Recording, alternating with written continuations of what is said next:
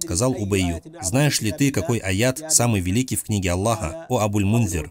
На что он ответил, «Аят Аль-Курси». Пророк, саллаллаху алейхи вассалям, сказал, «Да будешь ты счастлив в знании». То есть ты один из ученых, знающих, что самый великий аят в книге Аллаха – это аят Аль-Курси.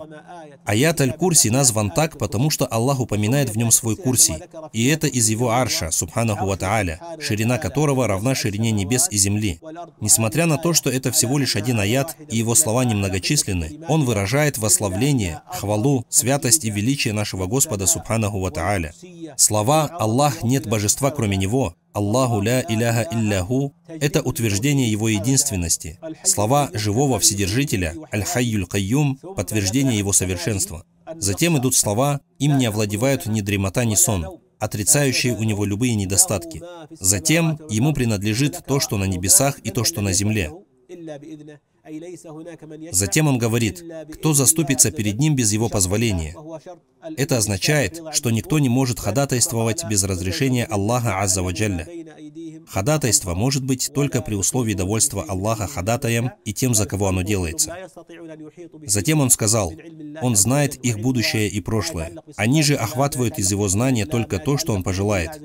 Все творения не могут охватить ничего из знания Аллаха, что касается атрибутов Аллаха, имен Аллаха, знания Аллаха.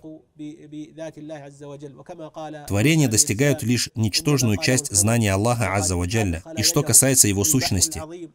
Как сказал Хидр Мусе, мир ему, он опустил руку в море и сказал Мусе, «О Муса, мое знание и твое знание по сравнению со знанием Аллаха подобно этой капле в этом море.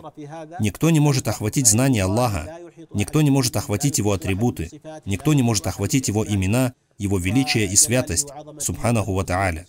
Таким образом, Аль-Фатиха – самая великая сура, а аят Аль-Курси – самый великий аят в книге Аллаха Азза ва Джалля.